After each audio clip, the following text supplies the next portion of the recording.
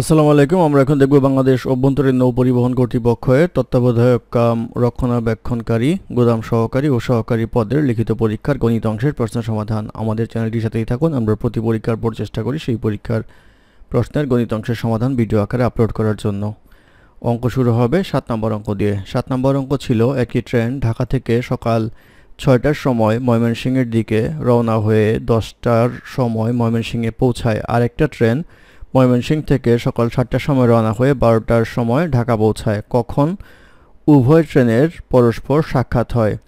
তো আমরা ধরে নিই এক পাশে হচ্ছে ঢাকা, এক পাশে হচ্ছে ময়মনসিংহ।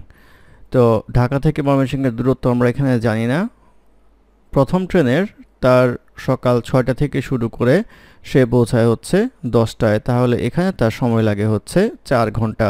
দ্বিতীয় ট্রেন ময়মনসিংহ থেকে এদিকে রওনা হয়। সেই ক্ষেত্রে সে রওনা হয় হচ্ছে সাতটার সময়। সাতটা থেকে তার সময় লাগে হচ্ছে বারোটা, অর্থাৎ এখানে তার সময় লাগে হচ্ছে পাঁচ ঘণ্টা।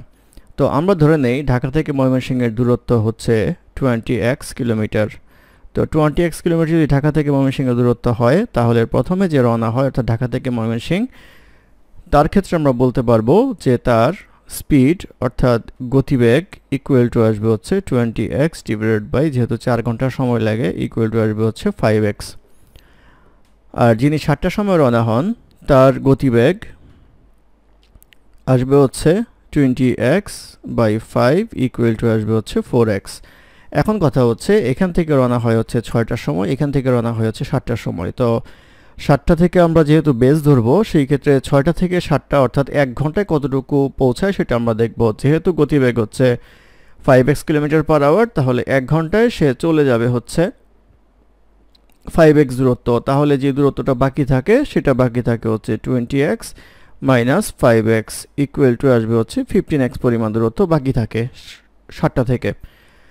এখন আমরা ধরে নেই টি সময় পর তাদের একজন আরেকজনের সাথে দেখা হবে। টি সময়ে প্রথম ট্রেন যে দূরত্ব অতিক্রম করে, সেটা আসবে হচ্ছে ফাইভ এক্স ইন্টু টি আর দ্বিতীয় ট্রেন যে দূরত্ব অতিক্রম করবে, এদিক থেকে আসার সময় সেটা আসবে ফোর এক্স ইন্টু টি এই দুইটা যোগ করলে, যেহেতু এদিকে যাবে একজন, এদিকে আসবে একজন, পরস্পর দেখা হবে, সেই ক্ষেত্রে এই ডিস্টেন্সটা হবে হচ্ছে ফিফটিন এক্সের সমান ইকুয়াল টু আসবে ফিফটিন এক্স বা টি ইকুয়াল টু পাওয়া যাবে হচ্ছে fifteen x divided by nine x equals to পাওয়া যাবে হচ্ছে ফাইভ বাই থ্রি আওয়ার বা ফাইভ বাই থ্রি ওয়ার্কে করলে আমরা লিখতে পারব হচ্ছে এক ঘণ্টা চল্লিশ মিনিট। তাহলে কখন দেখা হবে? দেখা হবে হচ্ছে সাতটার সাথে এক ঘণ্টা চল্লিশ মিনিট আমরা যোগ করব।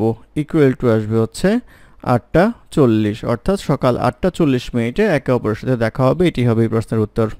তারপর প্রশ্ন নাম্বার আট। নাম্বার আটে বলা আছে, সমাধান করুন x cube minus three x y square plus two y cube এটা আমাদের ফাংশনের মাধ্যমে করতে হবে। এক্স ইকুয়াল টু যদি ওয়াই হয়, তাহলে এটার মান জিরো হয়। সেই ক্ষেত্রে এক্স মাইনাস ওয়াই হবে হচ্ছে একটা উৎপাদক। এখন এক্স মাইনাস ওয়াই তৈরি করা যায় এমনভাবে আমরা কমন নেওয়ার চেষ্টা করব বা সাজানোর চেষ্টা করব। তাহলে x cube minus x square y plus x square y minus x y square minus two x y square plus two y cube এখান থেকে যদি এক্স স্কোয়ার কমন নিই, আসবে হচ্ছে এক্স মাইনাস ওয়াই প্লাস এখান থেকে এক্স ওয়াই কমন নিলে x minus y minus এখানে টু ওয়াই স্কোয়ার কমন নিলে x minus y equal to x minus y into x square plus x y minus two y square x minus y এটাকে মিল term করলে আমরা পাবো হচ্ছে x square plus two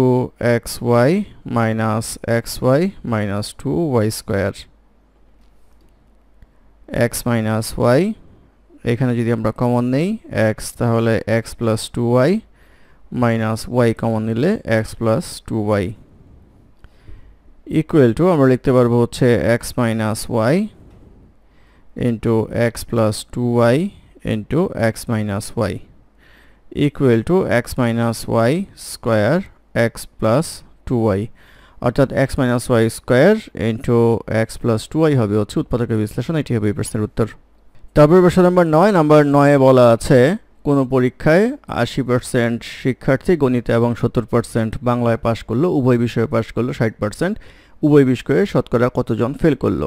তো মোট পরীক্ষার্থী হচ্ছে আমাদের একশো পার্সেন্ট তার মধ্যে আমরা যদি ভ্যানচিত্র আঁকি, তাহলে আমরা পাবো হচ্ছে এটা হচ্ছে গণিতের আর এটা হচ্ছে আমাদের বাংলার।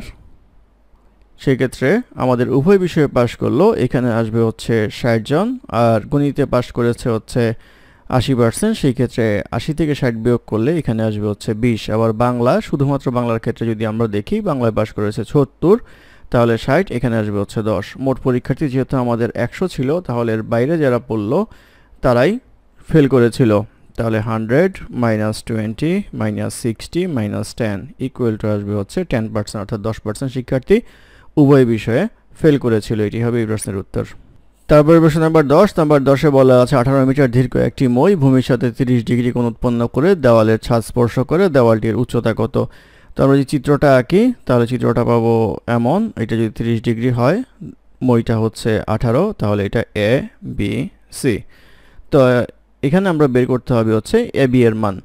তো এটা একটা সমকোণী ত্রিভুজ, সেই ক্ষেত্রে আমরা জানি হচ্ছে sine thirty degree equal to হচ্ছে লম্ব বাই অতিভুজ, অর্থাৎ এ, বি বাই এসি বা sine thirty equal to half এসির মান আমাদের এখানে দেওয়া আছে এইটিন এ বির মানটা আমাদের বের করতে হবে। বা এ, বি ইকুয়াল টু আসবে হচ্ছে নাইন অর্থাৎ নয় মিটার হবে হচ্ছে দেয়ালের উচ্চতা। এটি হবে এই প্রশ্নের উত্তর। ধন্যবাদ আমাদের সাথে থাকার জন্য। আমাদের চ্যানেলটি ভালো লাগলে অবশ্যই সাবস্ক্রাইব করবেন লাইক কমেন্ট এবং শেয়ার করবেন। অঙ্কে কোনো সমস্যা থাকলে আমাদের কমেন্ট করবেন। আমরা চেষ্টা করব কমেন্টের রিপ্লাই দেওয়ার জন্য। ধন্যবাদ।